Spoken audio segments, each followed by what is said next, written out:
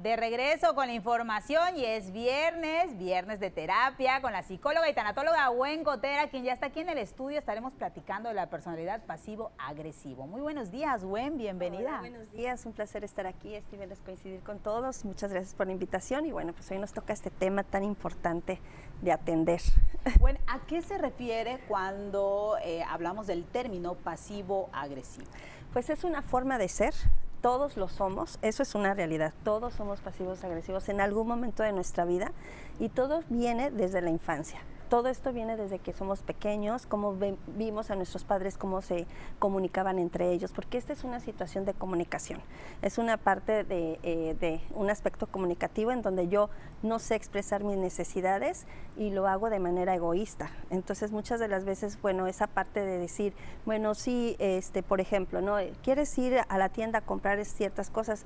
Por no decir un no, dices un sí y realmente pues vas compras ciertas cosas, pero no todas las que te encargan, porque es una manera de decir, pues no quería, sí, ahí está. Entonces, es... Para que me mandaste, ¿no? Para que me mandas, efectivamente, y muchas veces esto sucede está en, esta, en el trabajo, ¿no? Muchas veces tu jefe te dice, oye, tienes que hacer ciertas cosas, y tú dices, sí, sí está bien, sí lo voy a hacer, y resulta que lo haces a medias. Eso hacer a medias es pasivo-agresivo. O lo haces mal. O lo haces mal, precisamente, porque tú dices, bueno, ¿para qué me lo dice? Pues yo no quería, pero pues ahí está. O muchas veces decimos, ¿no? Entre parejas, bueno, vamos, ¿qué tal si te parece? Vamos a la fiesta de mis amigos y vas y bueno, ¿qué pasa? ¿Por qué estás serio? ¿Por qué estás seria? No, nada, lo que pasa es que yo no quería venir, pero pues ya estamos aquí. Esto es pasivo-agresivo, eso es incomodarte en la situación, hacerte ver que no estoy cómodo, hacerte ver que yo no quería, pero pues aquí estoy, como tipo haciéndote un favor, ¿no? Entonces, ese, ese aspecto a veces no lo tomamos en cuenta, pero es muy, repetido, muy repetido, ¿sí? Muchas veces también decimos, bueno, pues lo que pasa es de que, eh, eh, ¿cómo se me ve este vestido? Pues se te ve bonito, pero bueno, si estuvieses más delgadita, si estuvieses de manera diferente, pero no te preocupes, sigues estando muy bonita. Pasivo-agresivo. O sea, definitivamente son, son aquellas palabras que de alguna forma pues nos van a herir, son aquellos silencios que de alguna manera pues nos van otra vez a, a manifestar pues un enojo, ¿no? Oye, bueno, estaríamos hablando de una falta también de personalidad, una falta de poder eh, de alguna forma eh, pues luchar por nuestros derechos, por lo que queremos.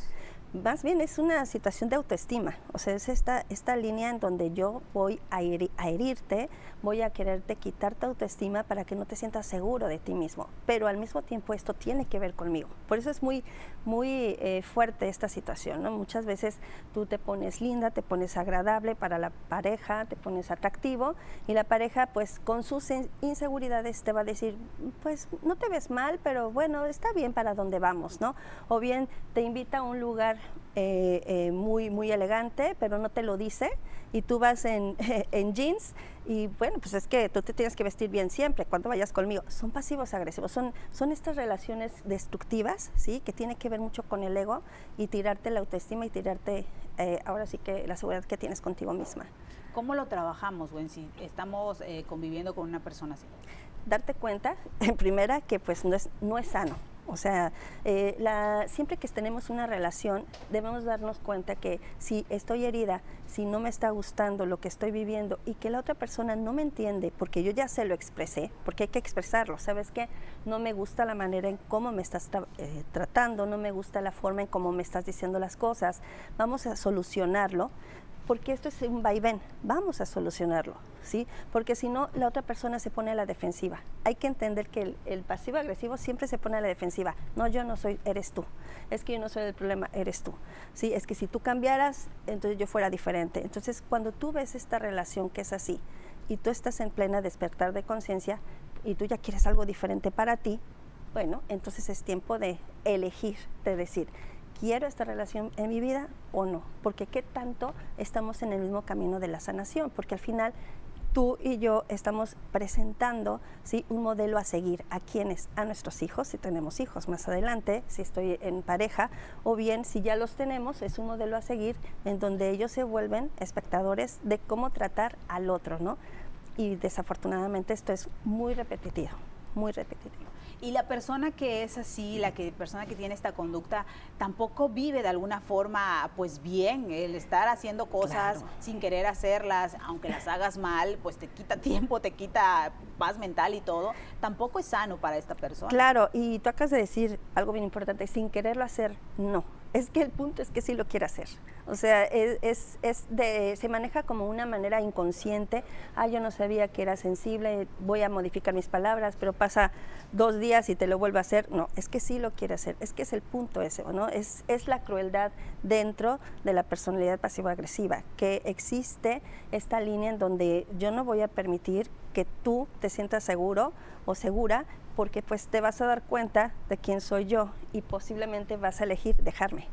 Entonces voy a crear una dependencia, ¿sí? verbal, comunicativa, en donde, bueno, tú me necesitas a mí, ¿por qué? Porque yo también soy sé ser muy dulce, muy, muy atractiva, muy atractivo en mi forma de ser, entonces te puedo conquistar de nuevo, pero apenas sientes esa seguridad y el pasivo agresivo te lo vuelvo a tirar. Entonces es un vaivén de un juego, eh, ahora sí que muy, muy macabro porque tiene que ver con la personalidad narcisista y es importante, bueno, que si tú ya te diste cuenta tu pareja o la persona que, con la que vives, vives, convives, ya sea en un trabajo, un jefe, etcétera, y te diste cuenta que tiene esta personalidad, pues sí te queda a ti cambiar las formas. ¿Cómo? Muchas veces, bueno, te, dicen eh, algo como, ya te vas a ir con tus amigos, como siempre, primero son ellos que yo.